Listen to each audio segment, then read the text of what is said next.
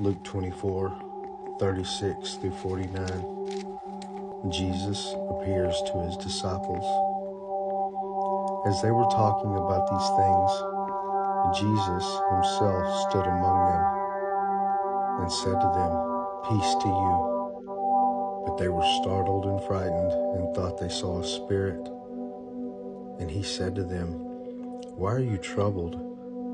And why do doubts arise in your hearts? See my hands and my feet, that it is I myself. Touch me and see, for a spirit does not have flesh and bones, as you see that I have.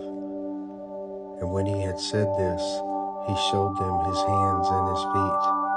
And while they were still disbelieved for joy and were marveling, he said to them, Have you anything here to eat?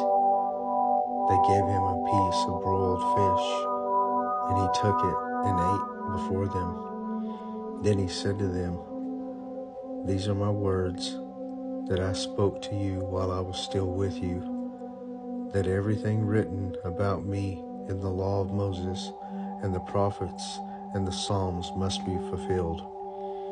Then he opened their minds to understand the scriptures and said to them, Thus it is written that the Christ should suffer and on the third day rise from the dead, and that repentance for the forgiveness of sins should be proclaimed in his name to all nations, beginning from Jerusalem.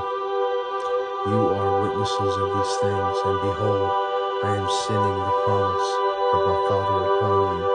But stay in the city until you are clothed with power from on high.